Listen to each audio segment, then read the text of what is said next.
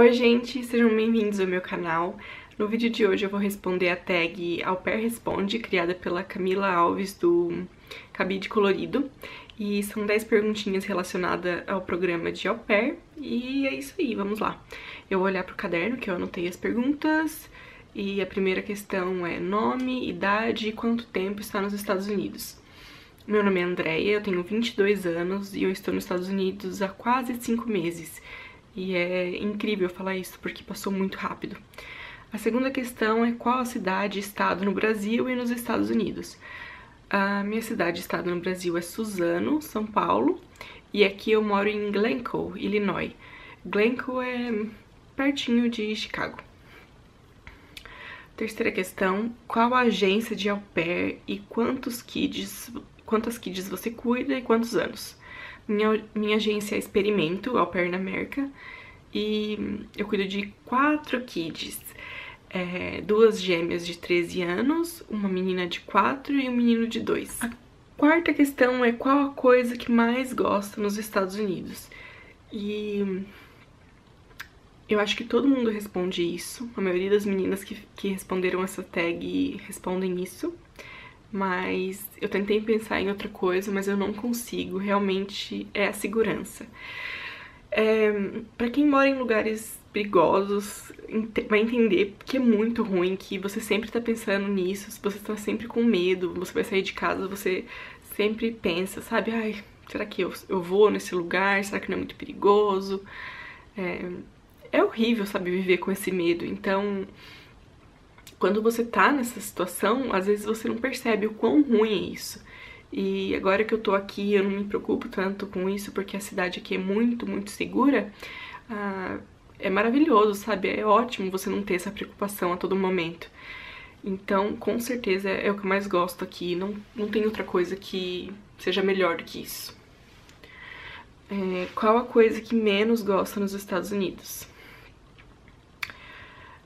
É a comida o que mais me incomoda aqui, que eu mais reclamo sempre é que é muita pizza, muita comida enlatada e eu sinto muita falta da comida brasileira. É muito, muito melhor, mil vezes melhor. E não é que eu não gosto da comida daqui, eu gosto de hambúrguer, eu gosto de pizza, mas todo dia é, não é bom, sabe? Enjoa muito e a gente sente falta de comida de verdade. A sexta questão é o que o intercâmbio ensinou até agora. O intercâmbio me ensinou a ser mais responsável, mais independente, um, mais forte. Não que eu seja é, extremamente responsável, extremamente independente, mas eu sou bem mais do que eu era antes. É, você tem que aprender, sabe, a fazer tudo por você mesmo, não ter que depender muito das outras pessoas. E você fica mais uma pessoa mais madura mesmo. A sétima questão é qual o lado bom de ser au pair. E eu acho que o lado bom de ser au pair é você ter essa oportunidade de ter essa experiência em outra cultura e também você ficar esse período sem se preocupar com contas e dívidas e você fica mais só preocupado com coisas que você realmente quer, assim, você gasta o seu dinheiro da maneira que você quer, você não precisa pagar conta nenhuma. Então acho que isso é muito bom. A oitava questão é qual o lado ruim de ser au pair. O lado ruim de ser au pair é, é morar com os patrões. É, é a coisa mais chata que tem, você nunca se sente em casa, você no seu tempo livre você tem que ver eles a todo momento. É, é muito chato. Nona questão, o que você pretende fazer após o programa? Essa é a pergunta mais difícil. Ah, sinceramente, não tenho certeza ainda. Eu, eu sei que eu quero ir pro Brasil, com certeza. E eu sou formada em letras no Brasil, então talvez dar aula, mas não sei ainda. Pra ser bem honesto, o que eu realmente queria é poder trabalhar no YouTube, poder ter um canal de sucesso e poder fazer disso meu trabalho. Mas não sei, né? Não sei se isso vai acontecer. Décima e última questão, deixe sua dica pessoal para quem quer ser au pair. A minha dica é seja paciente.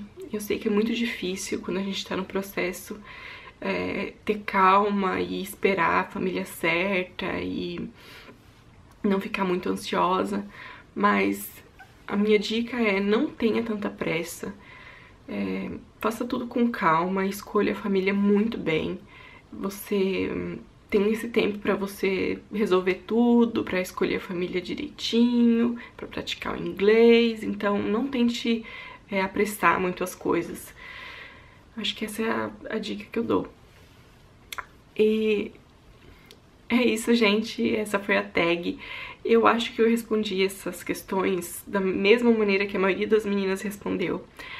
Mas realmente a minha opinião, são é as são as respostas que, eu, que me vieram à cabeça, então é isso. Espero que vocês tenham gostado. Se gostou, deixa um like e se inscreva no meu canal.